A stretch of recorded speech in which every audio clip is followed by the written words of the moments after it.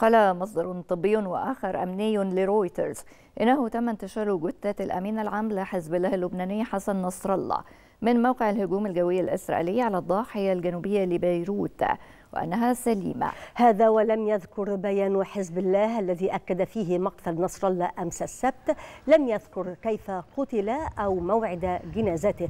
ولكن المصدرين قال إن جثته لم تكن بها جروح مباشرة.